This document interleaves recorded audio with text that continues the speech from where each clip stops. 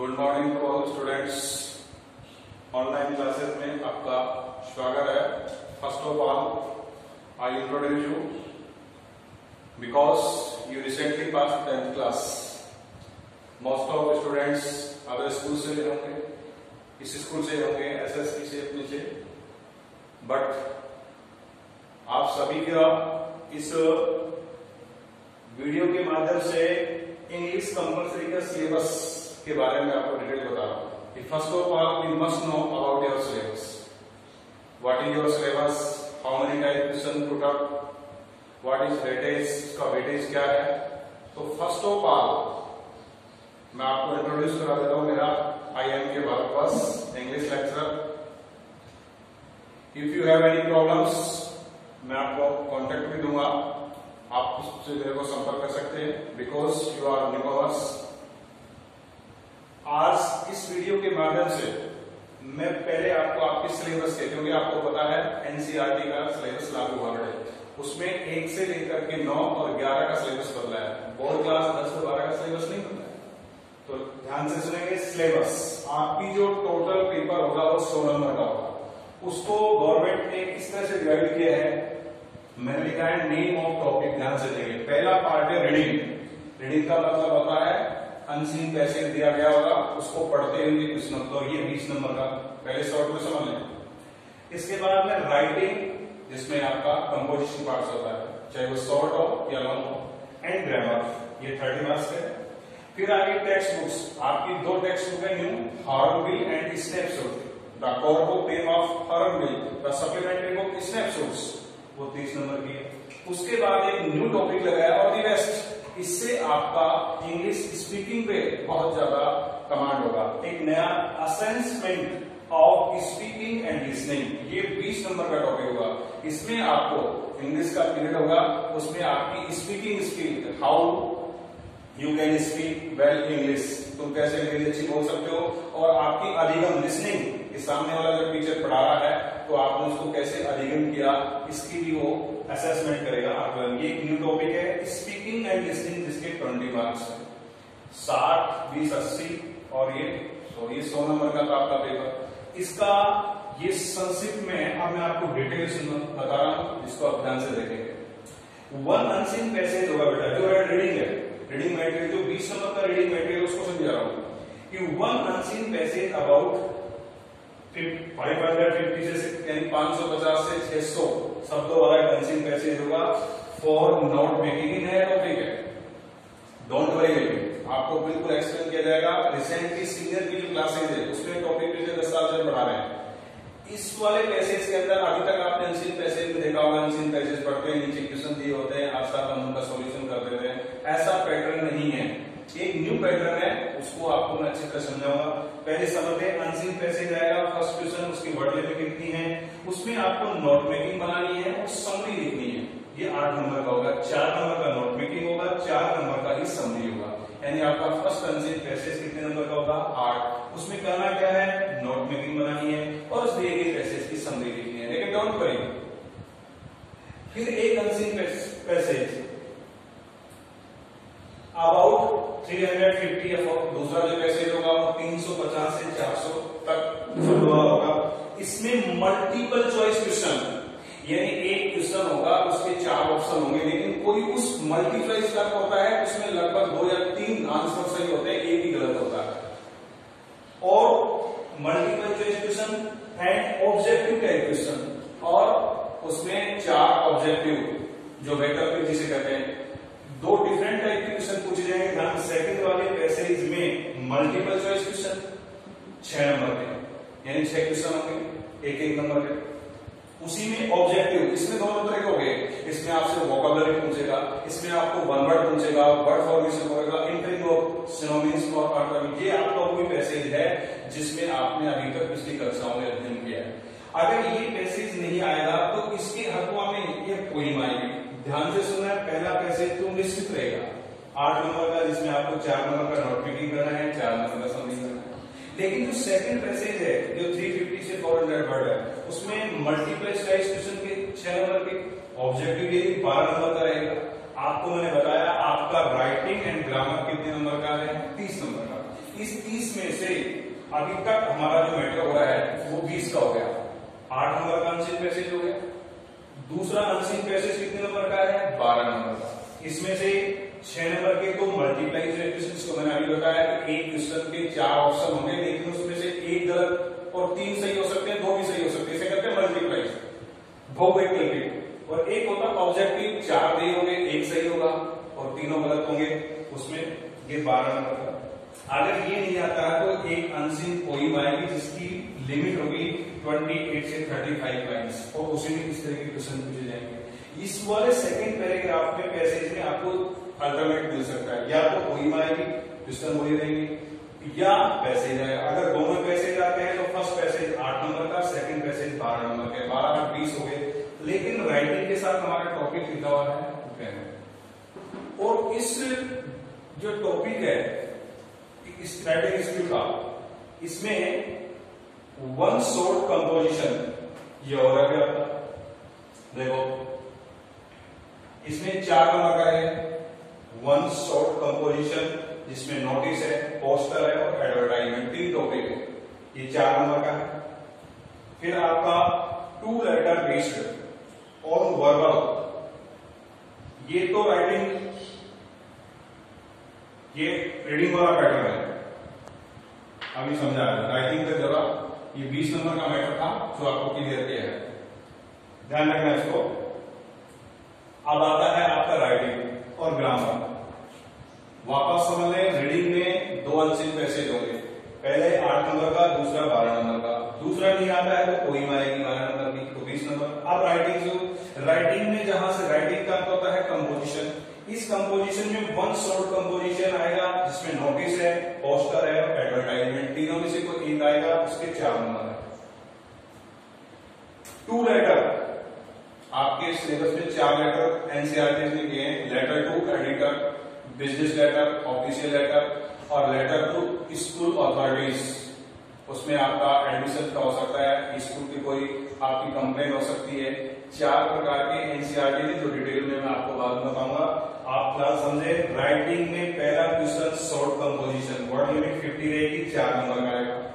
फिर आपके दो लेटर आएँगे, कोई अल्टरनेट नहीं रहेगा, दो लेटर आएँगे, दोनों परीक्षा में एनसीआरटी ने चार निर्धारित किए हैं। उन चार में से कोई दो देगा, दोनों ही करने हैं, एक लेटर आपका छह नंबर का रहेगा। उसमें विजुअल और वर्बल यानी तो direct write letter to the editor of the Rajasthan Patrika for complain of incident condition या आपको विजुअल का अर्थ है कि छोटे छोटे बच्चे हैं, वो तो किसी ईट के भट्टे पे काम कर रहे हैं, या किसी होटल रेस्टोरेंट में काम कर रहे हैं, उनका एक फोटोग्राफ ले दिया और एक एडिटर को कंप्लेन कर रहे हैं चाइल्ड लेवल पर। तो किसी का फ़ोटो फ्रेम दे सकता है और उसको देख करके ये विजुअल होता है। इसके बारे में आप ज़्यादा डोंट वर्बल विजुअल लेटर दो करना दोनों ही हैं, एक लेटर छह नंबर का रहेगा फिर वन लॉन्ग कंपोजिशन मैटर ये आपका। इसमें तीन टॉपिक है आर्टिकल है रिपोर्ट है स्पीच है, ये एक आएगा। आपको एक ही आठ नंबर का रहेगा तो ये आपके बारह आठ बीस और आपके इसकी राइटिंग के साथ ग्रामर का टॉपिक है। ये दस नंबर का बचता है, जो मैं आपको समझा रहा हूँ। रीडिंग बीस नंबर का, दो पैसेज पहला पैसेज आठ नंबर का, दूसरा पैसेज बारह नंबर का। दूसरे वाले पैसेज में अल्टरनेट रहेगा यानी यदि वो नहीं आती है तो कोई होगा और उस पोइम का सोल्यूशन करना है। कंपोजिशन जहाँ से प्राप्त होते हैं वन शॉट कंपोजिशन में तीन टॉपिक है नोटिस है पोस्टर है एडवर्टाइजमेंट हो सकता है ये टॉपिक आपके लिए न्यू हो बट डोंट वरी बहुत ही अच्छी तरीके से आपको इसका एक्सप्लेन किया जाएगा कि चार नंबर का रहेगा दो लेटर है सिलेबस में चार प्रकार के हैं। उन चारों में से दो आएँगे, दोनों ही करने हैं। एक लेटर छह नंबर का फिर एक लॉन्ग कंपोजिशन जिसमें ये तो आपने छोटे आजकल जो ऐसे टाइप होते हैं, उनको तीन भागों में विभाजित कर दिया। आर्टिकल हो सकता है रिकॉर्ड हो सकता है स्पीच हो सकता है एक ही आएगा, आठ नंबर का। लेकिन राइटिंग के साथ ग्रामर तो दस नंबर का रहेगा तीस से बीस तो यहाँ ध्यान देंगे आपको एक मिनट आपके इस ग्रामर में सिक्स ऑब्जेक्टिव टाइप क्वेश्चन पूछे जाएँगे। अब तक आपको जैसे पैसे दे दिया डायरेक्ट तो आप सोल्यूशन करते थे। नहीं, जिस तरह से कंपटीशन में लेवल के क्वेश्चन होते हैं। ध्यान देंगे आप सिक्स ऑब्जेक्टिव टाइप क्वेश्चन दिया गया होगा उसके नीचे पहले ऑलरेडी आंसर होंगे। आपको तो टिक करना है। ग्रामर लेकिन आपको डिटेल स्टडी पढ़नी है। तब आप कर पाएँगे एक तरह से एनसीआरटी के पूरा कंपटीशन का। तो ग्रामर के टॉपिक में सिक्स ऑब्जेक्टिव टाइप क्वेश्चन यहाँ देखेंगे तो हमने बताया कि आपको ये जो क्वेश्चन रखे हैं, इसके आधार पर। तो आपको ये करना है। बारह और आठ बीस और चार चौबीस। ठीक है? अब बच गए कितने? छह। एक एक नंबर के ग्रामर के छह क्वेश्चन पूछेंगे आपसे। तो ग्रामर के टॉपिक ध्यान से सुन रहे न्यू टॉपिक्स हैं। हो सकता है आपने इनमें से कुछ सेकेंडरी क्लास में पढ़ लिए होंगे। पहला है determiners tenses clause modals voice error fraction ये आपके लिए न्यू टॉपिक हो सकता है। रीऑर्डरिंग द सेंटेंस सेंटेंस दिए होंगे। वो गलत पैटर्न में जमे हुए हैं और आपको उनको सही क्रम में जमाना है। प्रत्येक और एक होता है ट्रांसफॉर्मेशन ये रिसेंटली आरबीएससी का सिलेबस था ग्यारहवीं क्लास में इसमें ये टॉपिक वर्तमान में है। ये छह ग्रामर के टॉपिक है, इन छह ग्रामर से एक एक ऑब्जेक्टिव टाइप क्वेश्चन आएगा। तो आपका मैं बता रहा राइटिंग और ग्रामर कितने का बेटा? तीस। इसमें से चौबीस नंबर का मैटर यहाँ हो गया।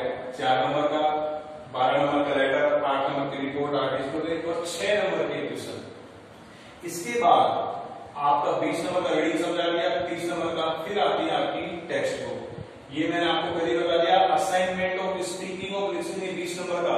इसमें तो केवल आपकी स्किल डेवलपमेंट करने के how you can speak English and what are you understanding very teacher is teaching in the classroom listening का होता है, हमारा जो इंग्लिश पढ़ाने का जो पैटर्न होता है, उसमें एल एस आर डब्ल्यू चलता है कि बालक पहले अधिगम कर पहले सुनता है। एल एस स्पीक बोलता है। फिर डब्ल्यू राइटिंग और उसको तो ये एक न्यू टॉपिक है, इसमें तो आपको केवल आपकी स्किलिंग बाकी इसके बाद मैं आपको बताने जा रहा हूँ कि ये तीस नंबर में टेक्स्ट में दो। पहली बुक है हॉर्नबिल दूसरी है स्नेपशूट तो ये आपका, यहाँ तक आप इसको वापस से कर लेंगे। इसको बिठा करके आपको टेक्स्ट बुक के बारे में बता रहा हूँ। ये रीडिंग बीस नंबर का, जो मैंने बता दिया, पहला अनसिन पैसेज आठ नंबर का। दूसरा अनसिन पैसेज बारह नंबर का। ये नहीं आता तो कोई माइक बारह नंबर की बारह आठ बीस, ये कंप्लीट हो गया। तीस नंबर में राइटिंग और ग्रामर तो राइटिंग यहाँ से चालू होती है। पहला क्वेश्चन राइटिंग का नोटिस पोस्टर और एडवर्टाइजमेंट ये चार नंबर का रहेगा। फिर आपका लेटर दो, ये बारह नंबर के हो गए। फिर आपका लॉन्ग कंपोजिशन है, उसमें आर्टिकल पूछ सकता है रिपोर्ट पूछ सकता है स्पीच तो आठ बारह, आठ, बीस, और चार, ये चौबीस। साथ में क्या है? ग्रामर ये छह नंबर के क्वेश्चन तीस हो गए।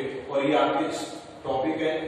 इसके बाद आपकी जो बुक है दो बुक आपकी पास है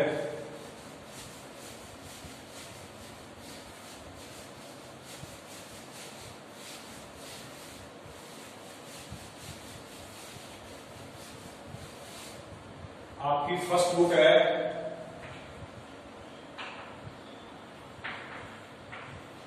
हॉर्नबिल। और दूसरी जो बुक है, वो है स्नैपशॉट्स ये आपकी दो टेक्स्ट बुक है। इनमें से जो क्वेश्चन को रखे जाएँगे उनके ध्यान से सुने। हॉर्नबिल हमेशा आप भी पढ़ते आए हो। हिंदी में जैसे आपके दर्द और होता है, जो मेन बुक होती है, इसकी बेटे वो दो पार्ट में होते हैं प्रोज एंड पोइट्री हॉर्नबिल में दो पार्ट है प्रोज एंड पोएट्री तो फ़र्स्ट ऑफ़ ऑल मैं हॉर्नबिल का बता रहा हूँ आपको। इसमें जो पोएट्री पार्ट है, इसमें two objective type questions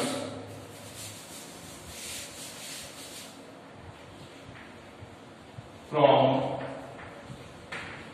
poetry ध्यान रखना ऑब्जेक्टिव टाइप एक, कोई पोइट्री में से हो सकता है कोई भी दे आपको ना कोई रेफरेंस लिखना, ना कॉन्टेक्स्ट करना, ना कोई एक्सप्रेशन करनी है, ना कोई क्वेश्चन का आंसर लिखना है पहले there two objective type question आएँगे केवल दो पोइट्री में से और उनमें से आपको टिक करना है फ्रॉम पोइट्री तो यहाँ आपको वन इंटू टू ये दो नंबर का है मैट्रिक है। फिर इसी बॉडी का जो क्लोज पार्ट है, और इसका, इन दोनों में से five short answer type questions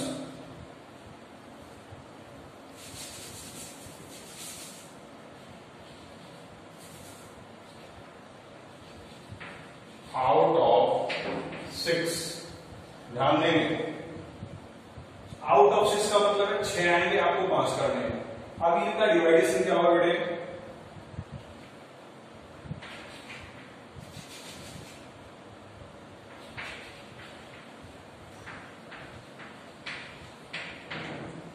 question from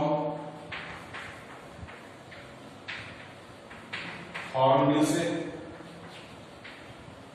और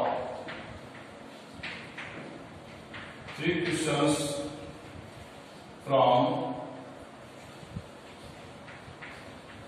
स्नैपशॉट से ध्यान से सुनना पहले के दो क्वेश्चन आए तो पोएट्री से नहीं दोनों अल्टरनेटिव रहेंगे ऑब्जेक्टिव टाइप तो बेटा आपको पॉइंट में से कोई से कोई पैसे एंजर दे सकता है, उसी का करना है।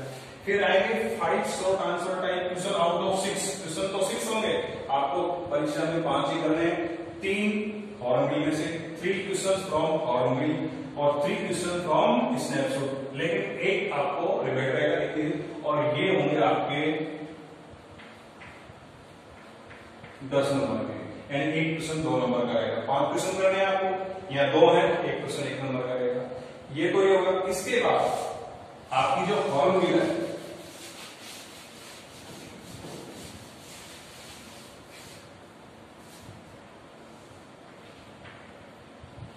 One. Long answer based questions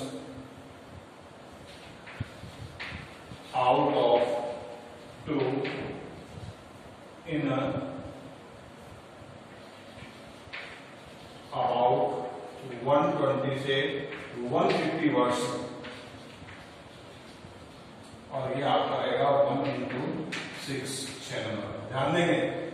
One long answer type based question बड़े सब इसकी वर्ड लिमिट बताइए। 120 से 150 आउट ऑफ़ टू दो रहेंगे। यानी बड़े जो क्वेश्चन है? बेटे उनमें आपको अल्टरनेट मिलेगा। आप एक कर सकते हैं। आउट ऑफ़ टू का अर्थ है, दो आएँगे करना एक है, छह नंबर का रहेगा। किसमें से आएगा? फ्रॉम हॉर्न बिल लेकिन इस हॉर्न बिल में से दो पार्ट है। एक तो क्रोज पार्ट में से पूछेगा, एक पोल्ट्री इसी में से फिर दूसरा क्वेश्चन रहेगा। One long answer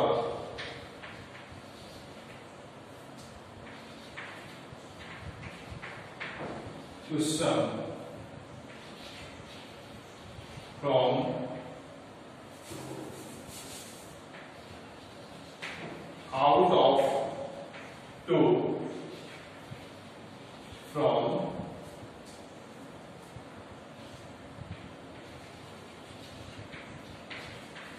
snapshots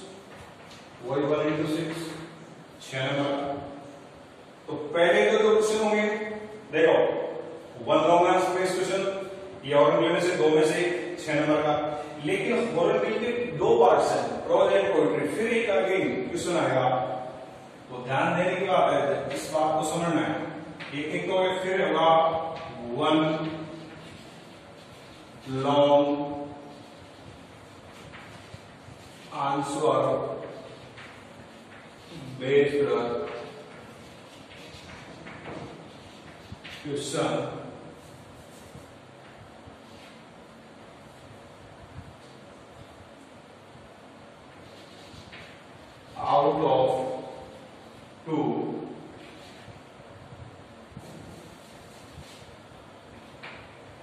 in 120 से 150